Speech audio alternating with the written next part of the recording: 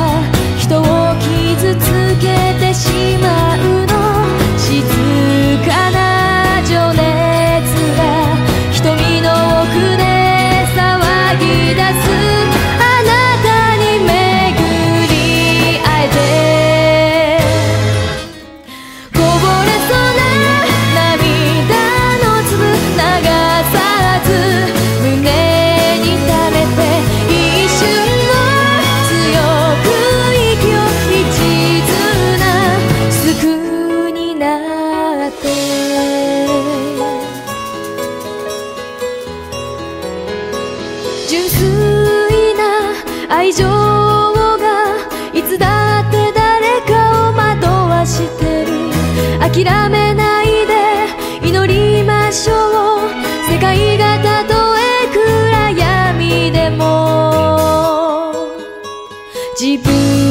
に誇れるたった一人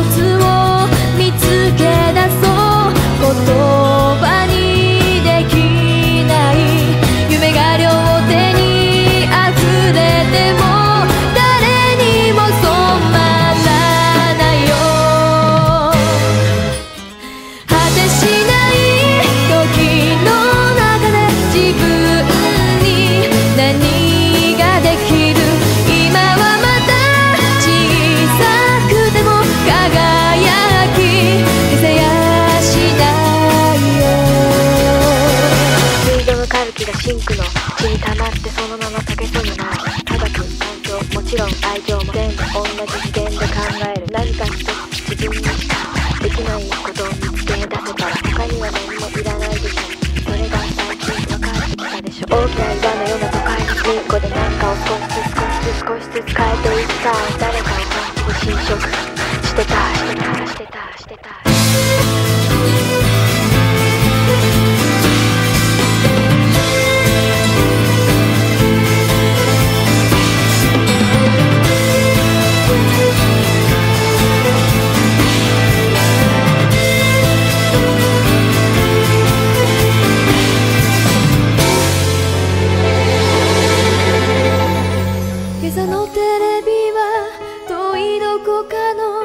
組